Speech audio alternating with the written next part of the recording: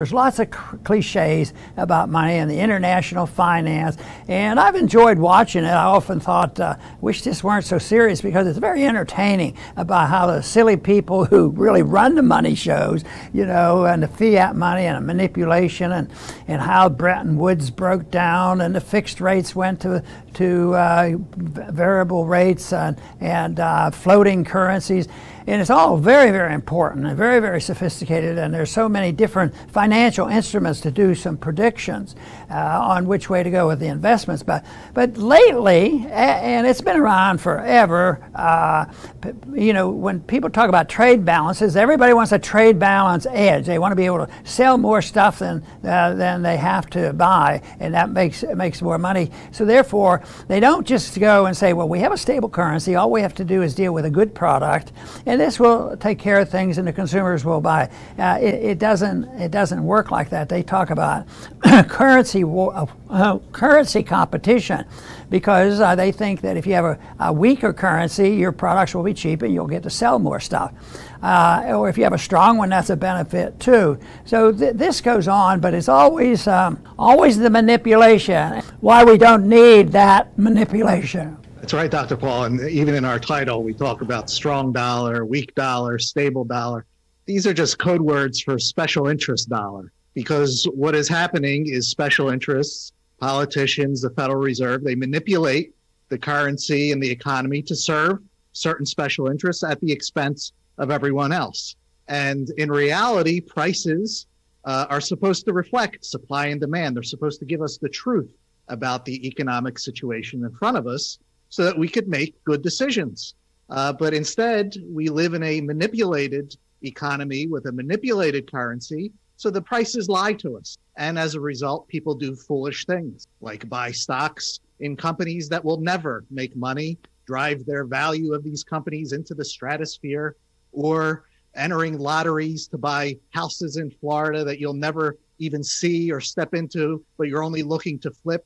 This is the environment that the Federal Reserve, by manipulating interest rates and currency, creates. And it creates a lot of heartache when the whole house of cards comes down. So we need the truth, truthful prices, a sound currency, and being able to see the situation as it is so that we can make good. Yes, and, and you're implying that there would be a market to help us sort that out. But unfortunately, that doesn't happen very often, especially in the last 50, 60 years. It's all been a manipulation, uh, and even longer than that. Essentially, prices that we've had the Fed, and then we had the Bretton Woods and the breakdown of the Bretton Woods, so there's always the manipulation. So they talk about the advantages of maybe a weak currency or a short term benefit of a strong currency. I mean, if you just had to pick, you think, well, strong currency should be a lot better than a weak currency. That means you get a stronger purchasing power. But when you talk about trade, then they think that that interferes with the trade, and some people don't like that, so they want to, to rig the system. And uh, some people think, well, what you need is a is a stable currency, one that's you know rigid, and you know exactly what it is. And um, I use I always want to think more about a uh, definable currency. You know what it is. You know what the measuring rod is. Uh, that that you can define it, and everybody knows what the definition is. But if you use the word stable, that means that it's going to be maybe rigid uh, with other currency. Who's going to decide what, what is a stable currency when there's so many variables? So I, I think it's more important to think about a sound currency, uh, a definable currency, and of course all currencies that originate in a market usually has something to identify as a measurement of value. And the uh, things that have lasted the longest and, and easily definable uh, the precious metals, gold and silver, and they're still around. But uh, it's, it's, uh, it's something that right now there's no presence there. There's always the manipulation. Everybody, you, you know, uh, uh, when, when, the, when the Fed comes out with a report, uh, the, the people who doing the analysis for investment reason will compare it with the month before and they'll look for maybe two words that have changed. And, oh yeah, he's hinting this, this is what he means. And all of a sudden the markets either go up or go down because of that. Well, that, that's pretty artificial and, and somewhat silly because long term, there are a lot of other factors that uh, de determine what's going on. So uh, the big problem is, is uh, we have fiat currencies. We've had them for a long time.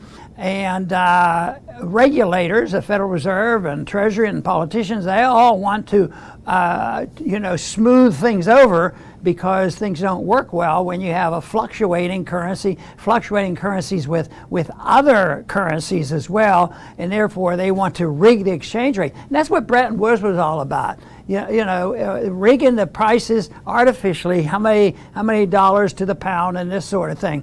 And that, uh, that rigging of, uh, of the exchange rates uh, was always was never very good. They always cheated, and they uh, always it always broke down. Then to have a readjustment, but uh, it was a pretense that they knew what the ratio should be. So it was a major event when the Bretton Woods uh, broke down because then the market had to do it, and they had to do what they called floating rates. And in a way, this that's a market function because the market was going to help source this out, and it actually, it ironically, made more sense than the politicians trying to uh, design the regulation that said what the what the ratio should be one currency to another.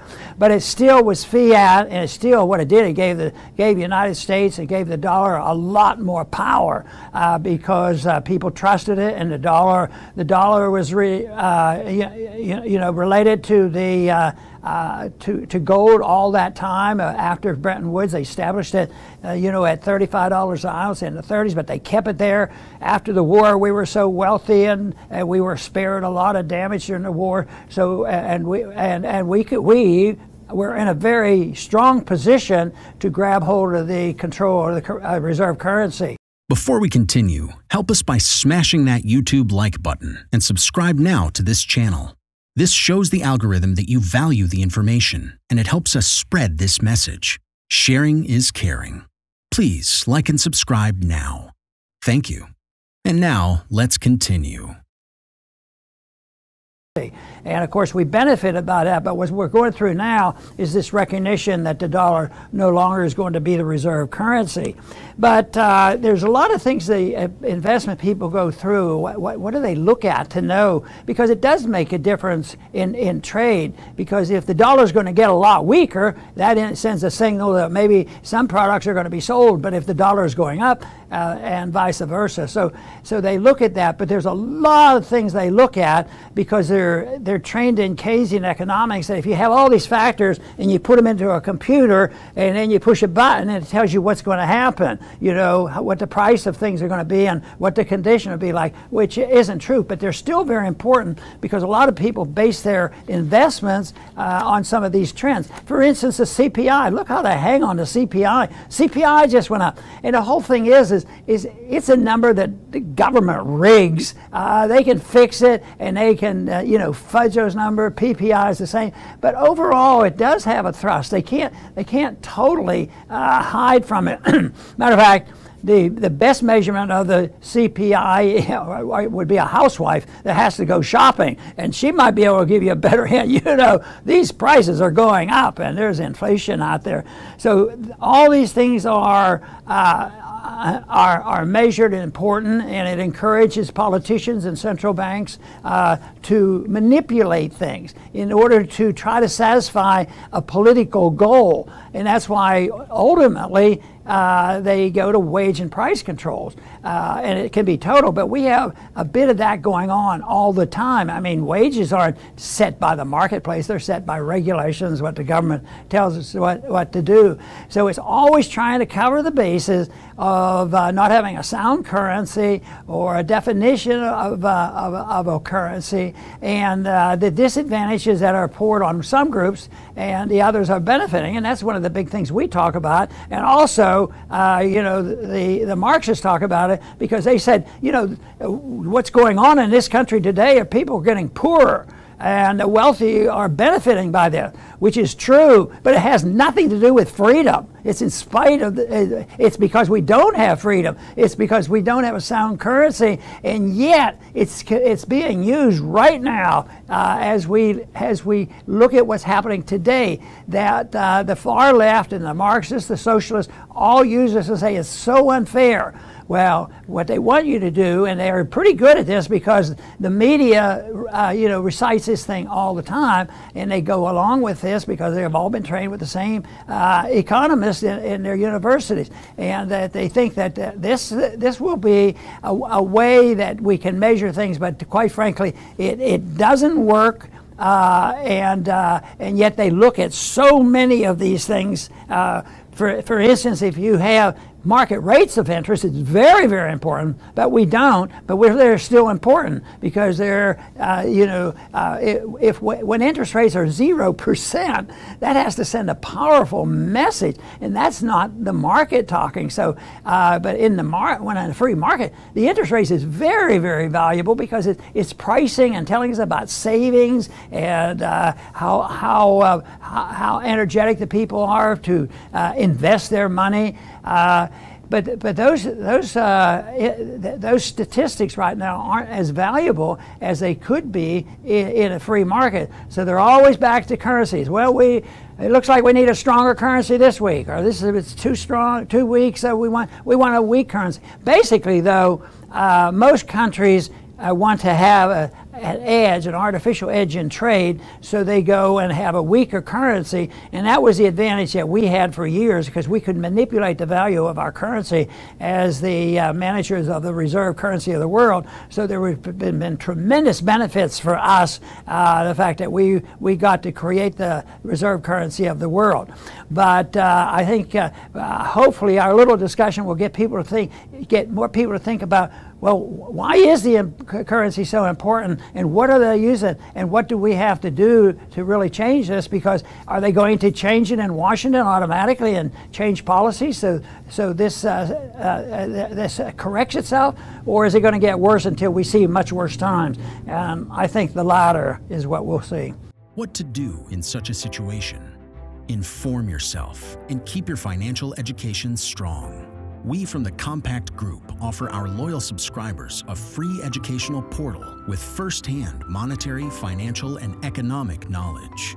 Enter our invite-only Insider Club by clicking the link below. You will get access to first-class information far earlier than the rest. We have prepared a special deal for all our members where you can access a giant pool of Robert Kiyosaki's financial wisdom for just $1. To find out more, simply click the link below and join our Insider Club absolutely free. But there is more you can and should do. Build up several streams of income. More and more people realize that they have to take their future in their own hands, but they don't know how and where to start. We from Compact offer our Insider Club members unique opportunities. Strengthen your financial muscle and get the edge. Click the link below. Become part of our free Insider Club. No financial obligations. But there's one important thing you have to know. You have to become active. So do it now. Become active and see you on the other side.